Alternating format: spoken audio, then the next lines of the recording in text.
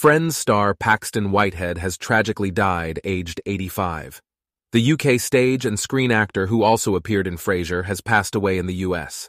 Whitehead is known for his role as Mr. Waltham, Rachel Geller's boss, in Friends. Actor Dana Ivey wrote, We first worked together in My Fair Lady in 1964, and the last time was in Importance of Being Earnest in 2010. Friends for 59 years. I loved him so. Heartbroken.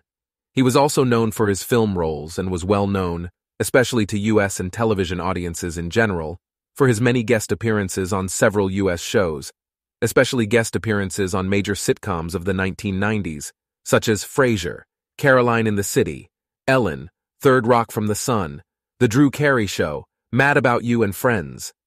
Jim Piddock tweeted, Heartbroken to hear my dear friend and mentor Paxton Whitehead has passed away. He was an extraordinary actor, a brilliant friend, and truly wonderful human being.